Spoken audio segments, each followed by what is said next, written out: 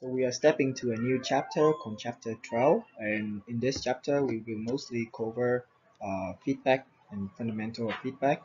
So this first lecture, let's go through the introduction and some basic concept of feedback. First of all, who invented this? Let's learn a quick history. So in 1928, there's a gentleman, his name is Harold S. Black. Um, he's white though. um, so Harold, Black invented the negative feedback amplifier while he's working for a company called Western Electric Company. This is a daughter company of AT&T. Um, so Mr. Black was trying to stabilize the gain uh, of amplifiers used in telephone repeaters at that time and he found that um, in a feedback system signal proportional to output is fed back to the input and combined with the input signal to produce a desired uh, desired response. Uh, so maybe uh, telephone started off this. So, um, so why do we need to learn about uh, feedback system? Uh, there are two type of feedback system uh, the positive and negative but in this chapter in this lecture series we're just gonna focus mainly on the negative. So let's go over the advantage and disadvantage. As you can see I give a lot more space for the advantage than the disadvantage. Um, so let's go over each one. So the first advantage is gain sensitivity. Um, so the transfer function or the gain of a amplifier circuit can actually vary due to the change in um, the transistor parameter. So in order to stabilize this gain, you can use a feedback. Uh, so the feedback circuit can help reduce the variation, therefore it can stabilize your gain. The second thing is the the second advantage is bandwidth extension. So bandwidth of a feedback circuit uh, is larger than its own basic amplifier, so you can have a wider bandwidth. The third advantage is noise sensitivity. Since incorporating feedback, you can actually increase the signal to noise ratio uh, inside the feedback loop. Actually, if the signal was originated from within the feedback loop. And the fourth, the fourth advantage is reduction of nonlinear distortion. Uh, so if you are trying to work with a large signal level, uh, transistor is actually has a non-linear characteristic and it will catch um, when you work with a large signal level it will catch the non-linear characteristic and it will create distortion. So these distortion actually can be fed back in the negative feedback loop to remove itself. And finally uh, if you use a feedback amplifier circuit uh, you have more control on designing the input and the output impedance. So you can increase or decrease it uh, with a proper type of uh, negative feedback circuit design. Now moving to the disadvantage we only have a couple here. The first disadvantage is the circuit gain. So if you have a normal amplifier let's say if you have a normal amplifier uh, without feedback loop and now you want to add a feedback loop to your basic amplifier circuit the fact that when you add a feedback loop in the overall amplifier gain will be lower. So now you have a lower gain. So you have to play some trick to bring that gain up to what you wish for in the beginning. The second disadvantage is stability okay somebody asked hey you say that the gain is more stable. Of course it's going to be more stable. However there's a possibility that the feedback circuit can become unstable or it can oscillate uh, at high frequency. So remember when you trying to put a, speaker I mean put a microphone and point that toward uh, a speaker and see what happened. Haha so let's cover the basic concept of feedback. Um, so this is a basic configuration of a feedback amplifier. As you can see, we have a source. The source is feed uh, from the input through an amplifier to the output and there's a feedback loop in here so uh, the first component is we have an amplifier right and this amplifier will have an open loop gain so conventionally this is your uh, the gain of your amplifier circuit. You also have um, a value beta so when you build a feedback circuit you can build this circuit branch in here. Uh, and the transfer function of that circuit is called the feedback transfer function. Uh, that's going to be beta. In here you have an input signal which represent for the raw source.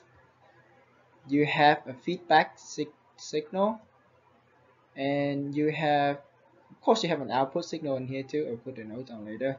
And you have an arrow signal. As you can see that we have a sum node in here. So the arrow signal is gonna be uh, the sum of this but it's actually the source input minus the feedback. Okay. So if you can see that if we have feedback signal equal to input then we don't have any error. So finally we have the output. And this is the basic configuration of the feedback amplifier of feedback amplifier. So um, let's examine the ideal closed loop signal gain. Um, so ideal means there's no loading effect. Signal is input signal okay. Noted transmitted through uh, the feedback path. That means so if you see this loop in here okay in the ideal scenario the output signal is only transmitted through this path. The input signal should not go in this direction okay that in so in the ideal scenario there's no transmission of signal in this direction from here to here via the feedback path. So first let's examine this area in here. Uh, so because the amplifier amplify the amplifier actually amplify the uh, arrow signal right? So we can have the output equal to a which is the uh, open loop gain multiplied by the error signal.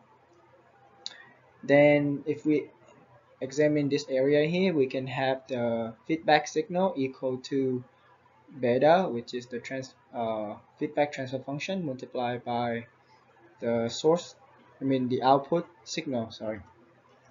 And finally examine the summation node.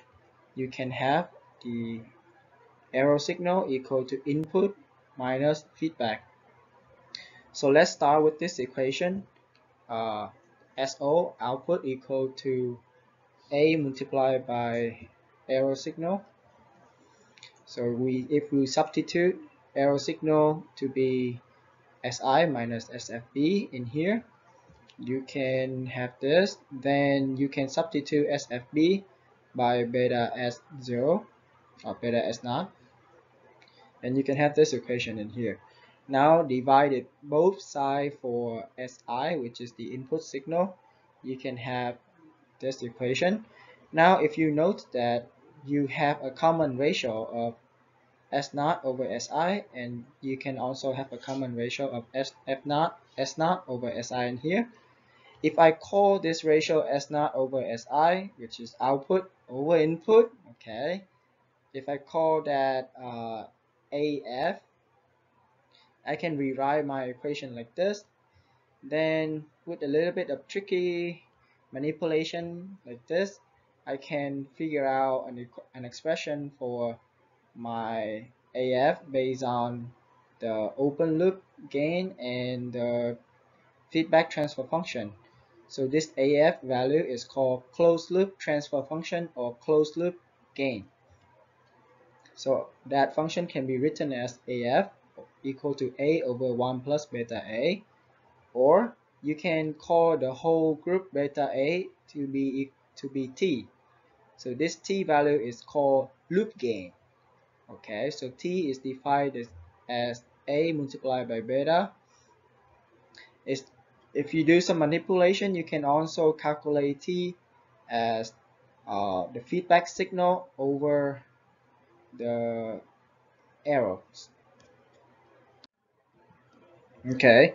So in this ratio in here if you see if you notice if I have a very small arrows then this uh, loop gain value will be very very large right? Therefore if this value is very large now my closed loop gain will can be estimated as a over a multiplied by beta it will be equal to 1 over beta okay? So once again uh, closed loop gain equal to 1 over beta. So just some quick note with a large loop gain uh, your output signal equal to 1 over beta input and your error is assumed to be assumed to be 0 so let's go through one example together so in this case if I give you an open loop gain of a equal to 10 to the fifth which is really big then your if I have a closed loop gain is which is equal to uh, 50 now I will ask you to calculate the feedback transfer function beta. So let's start with this equation of uh, AF equal A over 1 plus beta A so we can rewrite this equation right? So we can put this term up put AF down put 1 to the other side. Then you can derive an expression for beta. Plugging off the number you can calculate beta to be 0 0.01999 a lot of 9 okay so now if I change some number now if I have a negative open loop gain and a and I have a negative uh, closed loop gain equal to 50 and this is negative 10 to the fifth. Calculate transfer function beta. So plugging off number what I actually have is just negative 0.019999 and if you look in this value here you can calculate 1 over beta to be 50.025 and 1 over beta. In this case will be negative 50.025 so some comment. So these are typical values. So with these typical value you can notice that AF is almost equal to 1 over beta.